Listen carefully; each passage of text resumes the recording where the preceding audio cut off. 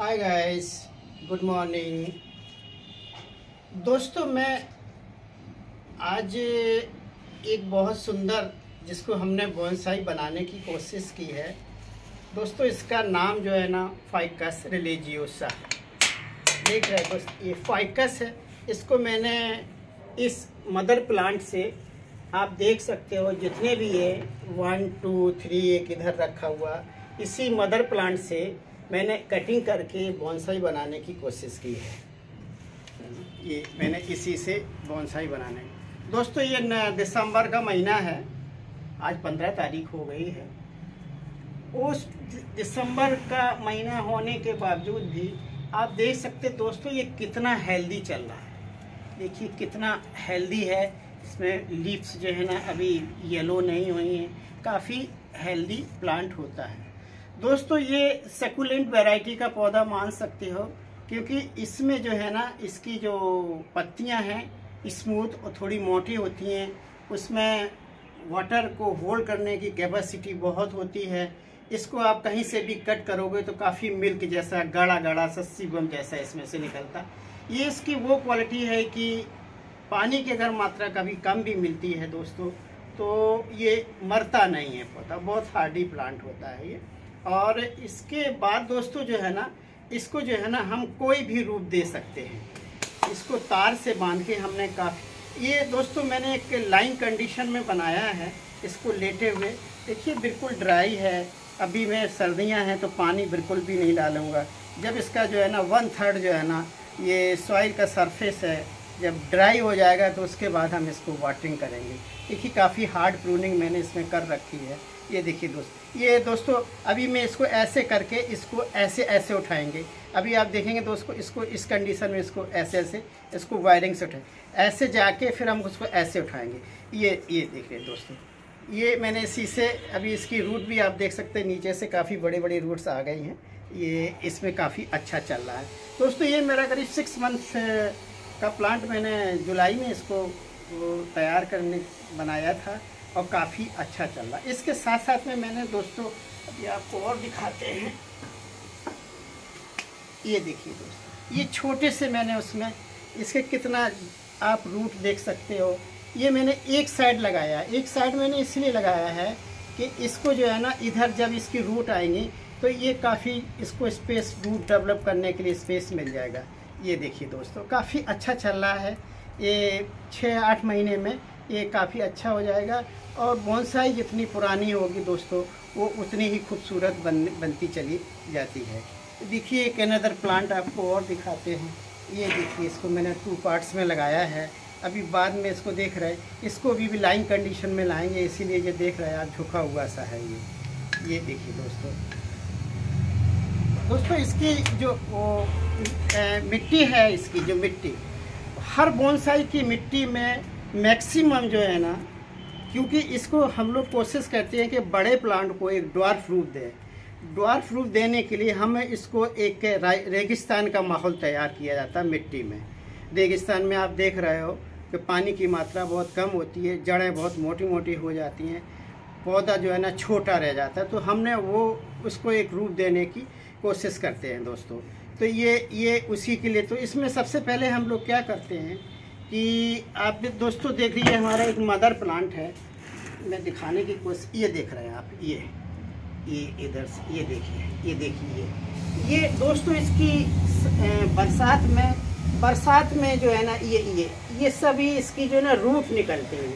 देखिए दोस्तों, कितनी मोटी मोटी ये रूट्स हैं। ये मेरा मदर प्लांट है। मैं इसको बाद में अभी इतना इसको बोनसाई बनाएँगे। ये सबसे अच्छे। इसको भी दोस्तों प्रूनिंग करनी है, लेकिन मैं अभी प्रूनिंग नहीं करूँगा। थोड़ा सा इसकी रूट और हो जाए। देख लीजिए दोस्तों, ये देखिए। तो होता ये है कि जैसे यहाँ से ये देखिए, ये रूट इसकी डंगे तो यहाँ से हम कट करके एक न्यू पौधा प्रोपोगेट इसको कर लेते हैं और इसको व्यवसाय बनाने की कोशिश करते हैं। बोनसाई की मिट्टी के बारे में मैंने बताया है कि इसमें करीब 60 परसेंट जो है ना, वो ड्राई मिट्टी वो रखते हैं, जिसमें garden soil twenty thirty percent होती है। और उसमें जो है ना, हम सैंड, रिवर सैंड मिलाते हैं। जो बिल्डिंगों का कंस्ट्रक्शन होता है, वो उसको रिवर सैंड कहते हैं, मोरम भी कह सकते हैं। और इसमें दोस्तों जो है ना छोटे छोटे ब्रिक्स के पार्टिकल इसलिए लेते हैं कि ब्रिक्स जो है ना, वो थोड़ा सा जब पानी उसमें डालते हैं तो गर्मी जब बहुत ज़्यादा पड़ती है, पॉट चारों तरफ़ से गर्म हो जाता तो ब्रिक्स जो है ना, उसकी जड़ों को जो है ना छोटे छोटे ब्रिक्स के पार्टिकल रूट को जो है ना, ठंडक पहुँचाते हैं दोस्तों। इसके बाद दोस्तों, इसको जो है ना, हम खाद के बारे में बात करते हैं। खाद जो है ना, इसमें रेगुलर खाद दी जाती है। आप दोस्तों देख रहे हैं कि छोटा पौधा होने के बाद अगर हम इसको खाद प्रॉपर नहीं देंगे तो फिर ये पौधा जो है ना, वीक पड़ जाएगा और बहुत अच्छे से इसमें वो नहीं पड़ेंगे। इसकी जो लीव्स वगैरह वो हेल्दी नहीं। तो जितने भी हमारे जो बंसाई के पौधे हैं, उसको मेरा कोशिश ये रहता है कि पोटेशियम पोटेशियम और नाइट्रोजन दो चीज़ों की मात्रा इसमें कम ना हो पाए। इसमें माइक्रो न्यूट्रिएंट्स भी डाले जाते हैं, क्योंकि बहुत एरिया का जो है ना ड्राई रहता है नीचे से। तो इसमें हमको पौधों को सभी जो है ना न्यूट्रिशन माइक्रो न्यूट्रिएंट्स और पोटेशियम और नाइट्रोजन और फास्फोरस ये हमको प्रॉपर प्रॉपर मिलता रहता है। देखो दोस्तों, एक अनदर प्लांट और दिखाएँ इसमें देखिए लीव्स जो है ना, अभी न्यू काफ़ी लीव्स आ रही हैं। ये देखिए, कितने न्यू लीव्स आ रही हैं। ये इसी के साथ में ये अभी कुछ लीफ फॉल हुआ है इसमें।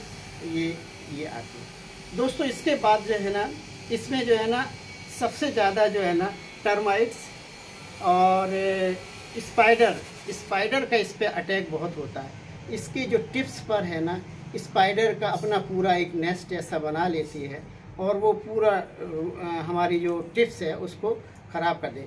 तो इसके लिए दोस्तों, हम लोग जो है ना, इसकी जो बोन बनाते, इसकी मिट्टी बनाते हैं तो उसमें हम बोन मील का इस्तेमाल, उसमें जो है ना, हम नीम की, नीम केक होती है उसकी उसका इस्तेमाल ज़रूर करते हैं। और इसके लिए मार्केट में तीन चार तरह के एंटी फंगस का भी हम इस पर छिड़काव कर सकते हैं।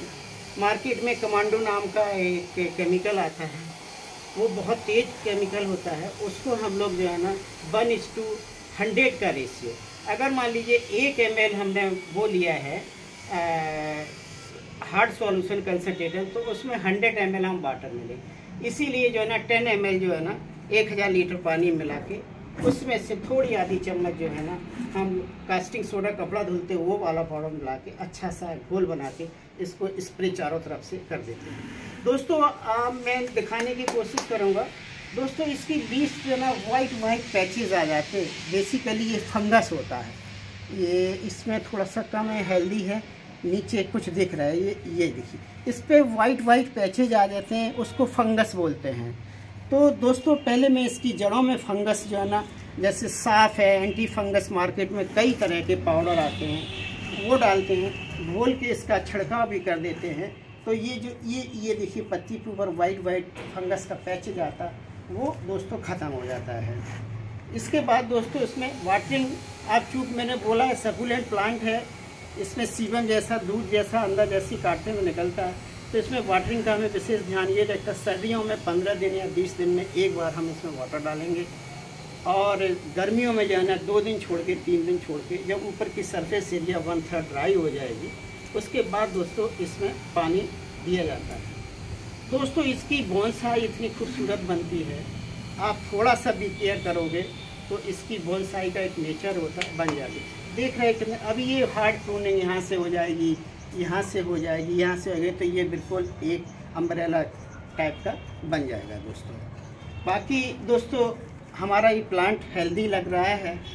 अगर आप लोगों को कोई इसमें क्यूरी कोई आपको पसंद ना हो या कोई इसमें सुझाव है, दोस्तों तो मुझे ज़रूर दीजिएगा और मेरा चैनल सम्यक टेरिस गार्डन को सब्सक्राइब ज़रूर करें दोस्तों लाइक करें और हमारे चैनल को ज़्यादा से ज़्यादा शेयर करें। धन्यवाद।